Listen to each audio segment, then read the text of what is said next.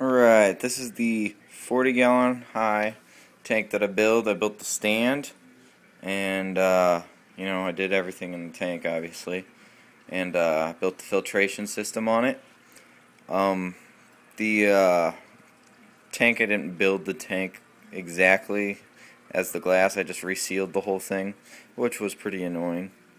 Um, but let me show you. First off, uh, well, let's get a good view of everything in there. All the plants and the fish.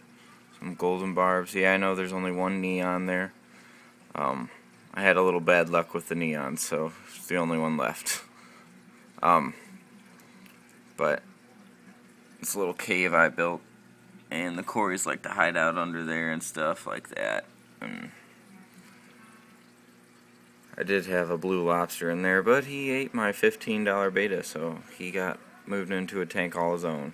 And my Amazon sword back there, I had to trim up, and uh, it's just growing new new growth now. So, um,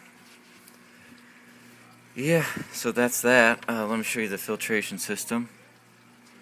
We have uh, overflow tube here I built a strainer for it right there so because I kept getting fish sucked down it and uh, that flows down to here. Let's see. Get to turn the light on. There we go.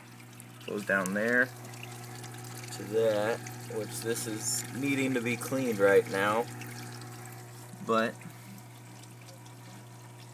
that goes down into there. I got my heater down there and those just have beneficial bacteria on them because they've been in here a while, so I just left them in there. No point in uh, taking them out, drying them out, and losing that.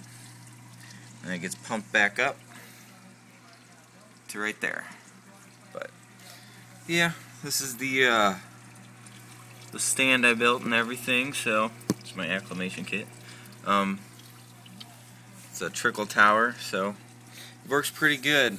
Um, keeps the tank clear and everything and I have option to put in the activated carbon if I want um, but I you know usually don't because it's not good for the uh, chemical or the ferts that I put in. Take some of them out some of the metals out. Um, but yeah. That is the tank that I built. Um and there there you go. Let me know what you think. See ya